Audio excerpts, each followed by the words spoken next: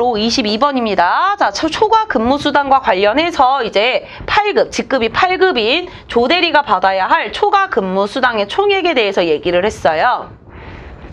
자, 어떻게 계산을 하는지를 보시게 되면 이제 시간당 초과 근무, 초과 근무 수당의 계산은 기준 호봉의 55%만 적, 적용을 시켜줘요. 주휴시간 포함해서 월 근로 209시간으로 산정을 해요. 자, 그래서 초과 근무 시간은 22시 이전에는 50%, 그 다음에 22시에서 6시 야간 근무할 때는 100%를 한다고 해요. 자, 그래서 우리가 여기에서는 뭘 먼저 구해 주셔야 되냐면 초과 근무 수당을 어떻게 구할 수 있느냐를 가지고 접근해 주셔야 됩니다. 자, 초과 근무 수당은 우리가 어떻게 구해낼 수 있냐면 일단은 기준 호봉에다가 55%니까 0.55겠죠? 자, 근데 얘를 209시간으로 산정한다고 했어요. 그쵸? 그러니까 일단 초과 근무 시간 곱해 주시고요. 거기를 209로 나눠주시고 곱하기 0.5를 하던지 곱하기 1을 하던지 22시 이전과 22시 이후로 나눠서 자 그럼 일단 볼게요. 22시 이전은 총 7시간을 일을 했고요. 22시 이후는 얼마큼을 했어요? 얘는 6시간을 일했습니다. 자 그럼 이전을 가지고 볼게요. 22시 이전 22시 이전의 경우에는 어떻게 계산을 하느냐? 자, 250만 원에 곱하기 0.55 하시고요. 그쵸? 자, 그 다음에 초과 근무는 7시간 했고 209로 나눠주는데 얘가 또 절반이 되겠죠. 22시 이후입니다. 그러면 250만 원에 0.55에 얘는 6시간에 나누기 209가 되겠죠. 되셨죠? 그럼 요 아이 두 개를 우리가 계산을 해야 돼요. 그러면 자 보세요. 250만 원 0.55 그리고 나누기 209는 공통이죠. 그러니까 여기에서 우리가 구해야 되는 거 2분의 7 플러스 6이죠. 요 아이가 곱하기 250만 0.5 나누기 209가 되겠습니다. 되셨죠?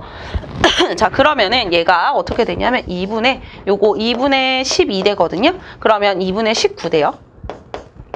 250만 0.5 나누기 209분의 1 혹시 209가 우리 19로 나눠지는지 한번 볼까요? 그랬더니 19, 19, 19, 0 이렇게 되네요. 아 11이고 또 0.5가 되겠죠. 되셨죠? 자, 그러니까 결국은 뭐냐면요. 이 아이는 250만 원을 나누기 4 해주시면 됩니다. 되셨죠? 자, 그럼 250 나누기 4 해볼게요. 4, 6에 24, 10. 그럼 4, 2, 8. 이렇게 되네요. 6만 2천 얼마. 이렇게 나오게 되니까 4번이 정답인 것을 우리가 구해낼 수 있죠. 아, 여기서의 중, 중요했던 포인트는요.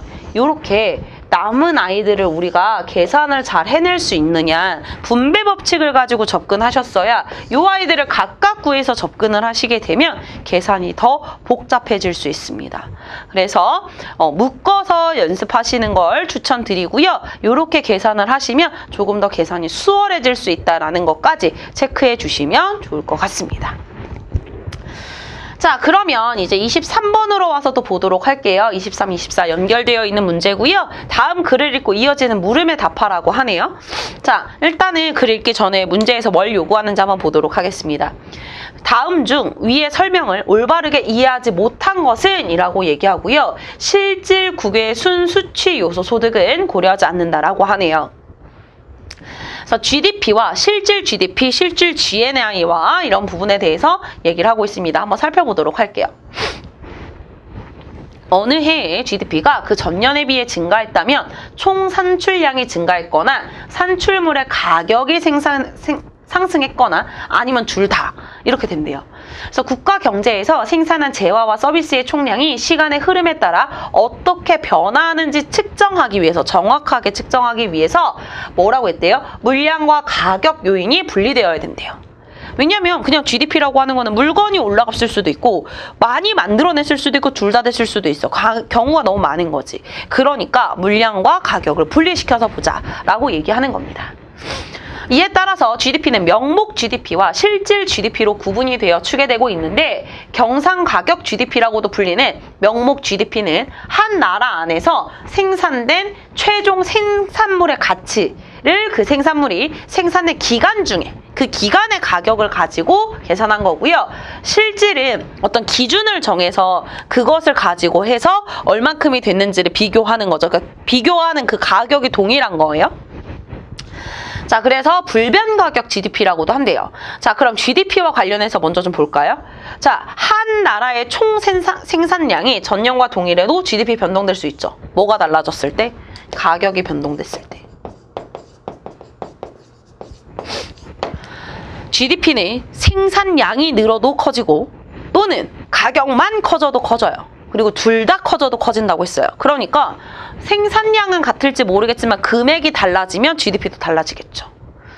자, 그 다음에 GDP의 중요한 결정 요인은 가격과 물량이다 라고 했습니다. 맞죠? 가격이 얼마고 그때 당시에 가격과 얼마큼을 만들어냈느냐에 따라서 GDP가 결정이 된다 라고 했습니다. 자, 그 다음에 실질 GDP의 변동 요인. 실질 GDP는 불변 가격이라고 했죠. 불변 가격이라고 했을 때 중요한 포인트가 뭐예요?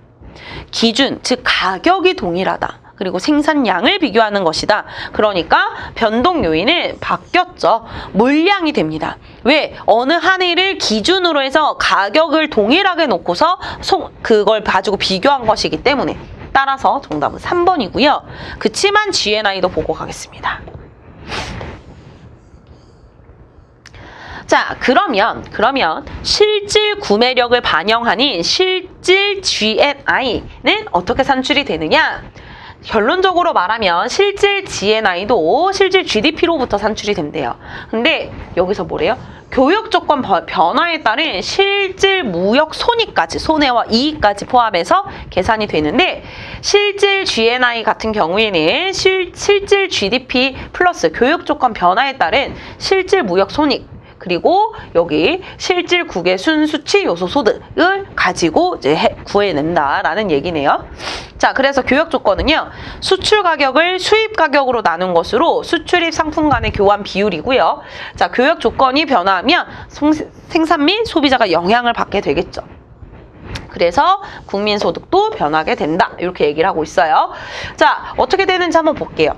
교육 조건이 나빠지면 동일한 수출 물량으로 사들일 수 있는 물량이 감소하겠죠. 그러니까 예를 들면 이전에 100원이었어요. 그럼 100원에 우리가 10개를 어, 구매할 수 있었는데 이 아이가 200원으로 올라요. 그럼 같은 금액으로는 우리는 절반밖에 구매를 못하겠죠. 이런 차이가 생긴다라는 얘기인 겁니다. 이는 소비나 투자에 필요한 재화 수입량이 줄어드는 것을 얘기하고요. 역시 어, 소비나 투자 감소는 바로 실질 소득의 감소가 된다라는 것들입니다. 이런 것들이 바로 이제 실 무역 실질 무역 손익을 가지고 이야기를 하고 있는 거죠. 자, 그래서 23번의 정답은 3번이고요. 자, 24번으로 와서 한번 볼게요. 다음 지문을 참고할 때 다음과 같은 조건에 대한 서, 올바른 설명은? 이라고 물어보고 있습니다. 자, 다른 국내 생산은 없고 요거만 가지고 얘기를 하네요. 자, 기준 연도인 2019년 한 대당 만 달러인 자동차 10대를 수출한 대금으로 공작 기계 한 대를 수입했어요. 2022년도에는요, 같은 금액의 공작기계 한 대를 수입하려고 동일한 자동차를 20대를 수출했대요. 아, 그건 무슨 얘기예요? 가격이 달라졌다는 얘기네요. 자, 그럼 실질 GDP 한번 볼까요? 자, 2019년에 실, 실질 GDP를 찾게 되면 1만 대당 어떻게? 10대죠. 자, 10대. 그러면 2020년에는 누굴 기, 2022년에 누굴 기준? 요 아이를 기준으로 봤을 때 20대를 하게 되면 얘는 20만, 얘는 10만이 되는 거죠.